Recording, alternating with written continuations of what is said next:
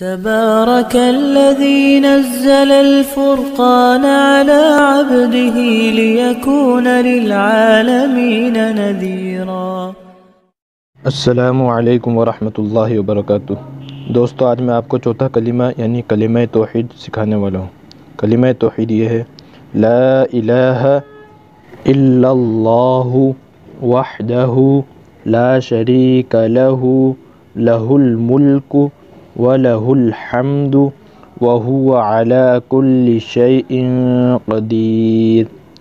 لا إله إلا الله وحده لا شريك له له الملك وله الحمد وهو على كل شيء قدير.